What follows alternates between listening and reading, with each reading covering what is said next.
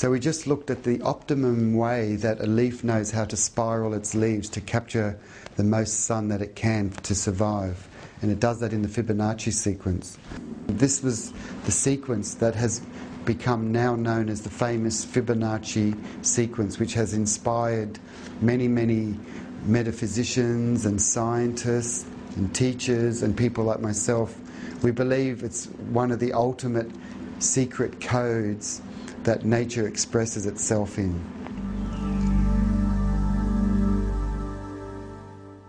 We can create or tap into the world of nuclear geometry, literally going through the back door of nuclear physics by the world of mathematics. By, by entering this realm of mathematics, we're getting the same diagrams as what scientists are with their microscopes.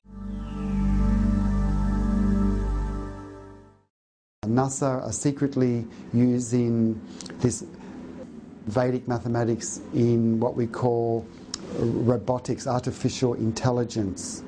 Because they, they're trying to understand how does the brain really work? How do we simulate the brain? Oh, the brain can just do mental calculations like this. What's 96 times 95?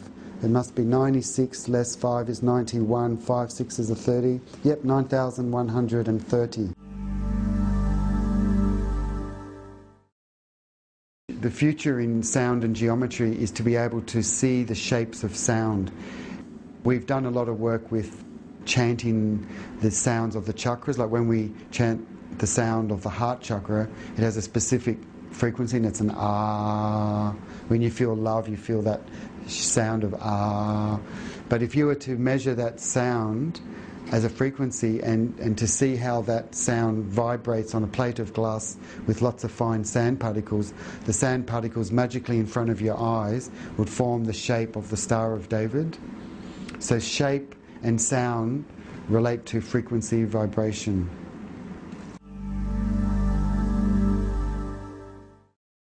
We suddenly found a way of traveling through the dimensions, of changing our size from an atom into a galaxy and conversely. And this was the secret of the Pythagoreans. They knew this relationship between icosa dodeca. So this is nature's optimal form is the dodecahedron. And it's the three-dimensional view of the pentacle. Just if you think of as a square is really a cube, a triangle is a tetrahedron. Well, what you're looking at now is, well, what's the three dimensional view of the pentacle? This is what the pagans were really originally worshipping. It wasn't just the pentacle, that was just the shadow of a higher principle called dodeca. We call this the language of light you could also call it the angle of the angels in a sense. This is a divine language, and it's all based on the fusion of two sacred geometrical genders. One shape, many faces. In Latin, you would call it e pluribus unum. Out of the many is the one, the one form, but with many views. And that gave us our alpha, beta, the alphabet, the language of the gods. Sacred geometry helps solve practical and technological problems.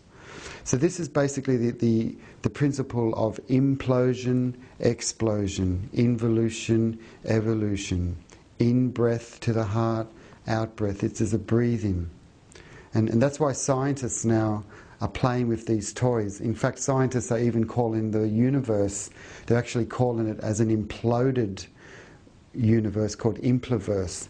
So there's a lot of new words being coined at the moment to to satisfy the ability to explain the the level of consciousness that's risen at the moment. Our, our concepts of the world are changing at the moment, and we need to embrace this principle, which we never really thought about before. It's learning how to breathe again, in, out, center, out, and always being interconnected with everything.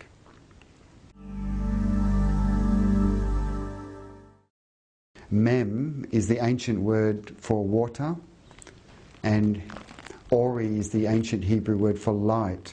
So when you put the two words together, Mem, Ori, memory is about this interplay of water and light, liquid light, It's part of our starlight memory, our connection back to the stars. And I believe that this three dimensional golden mean spiral, which is us, is part of our ascension process. So that's why we've been doing these meditations based on the tube torus donut, because it's a natural ability to travel into our heart, to journey to the center of the heart.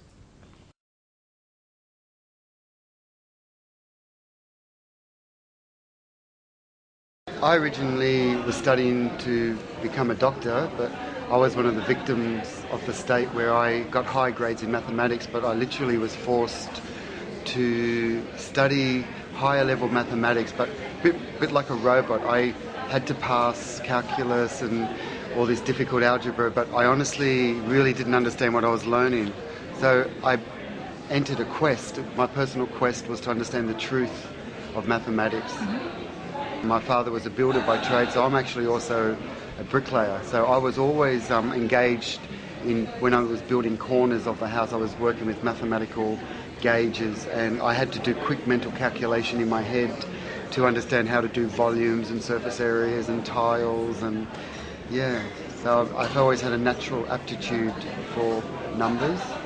I find a lot of people cry in my workshops because I've somehow touched on a very deep wound a mathematical wound of all things that they thought they were dumb because they didn't understand this curriculum.